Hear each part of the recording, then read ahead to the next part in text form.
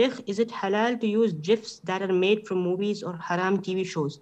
Uh, so GIF is basically a small video clip of two to three seconds that plays continuously. Nowadays, many GIFs are made from movies of, or haram TV shows.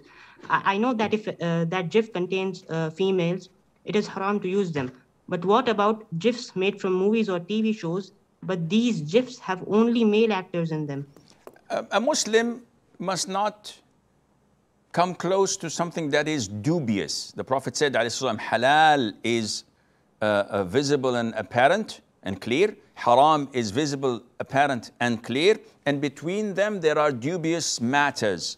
Whoever stay away from them, then he has saved himself. And whoever indulges in them, he is in the proximity of haram and he may fall into it. Therefore, these uh, I think it's called GIF or GIFs or whatever.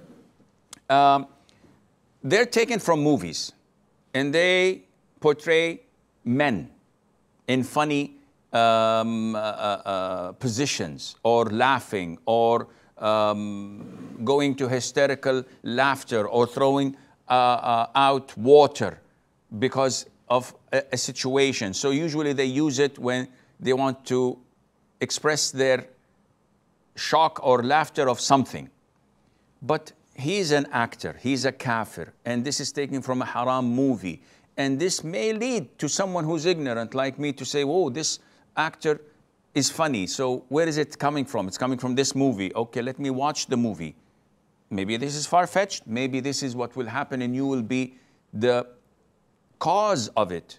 And you don't need more sins in addition to what you already have. Therefore, a proper Muslim would not share or endorse uh, uh, such things, and Allah Azza wa Jal knows best. Aisha